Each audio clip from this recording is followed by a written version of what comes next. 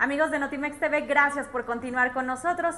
Concluye esta conferencia de prensa de economía de la cual se desprende que con el programa crédito de apoyo 10 mil se otorgarán 300 mil créditos de 10 mil pesos a los trabajadores que lo soliciten. Así lo informó Alberto Ortiz Bolaños, quien es director general de Fonacot y destacó que las reglas de operación serán similares a las del crédito solidario.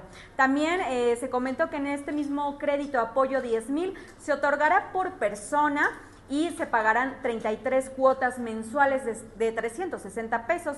Los tres primeros meses no se cobrará ninguna cuota. Esto lo explicó Alberto Ortiz Bolaños, quien es director general de Fonacot. Y por su parte, Omar Mejía, quien es subsecretario de la Federación, explicó de qué manera se debe de utilizar la plataforma CODI, la cual fue desarrollada por Banjico y es para realizar transferencias y cobros de forma gratuita. Así que esta es la información. Muchas gracias amigos de Notimex TV por estar con nosotros.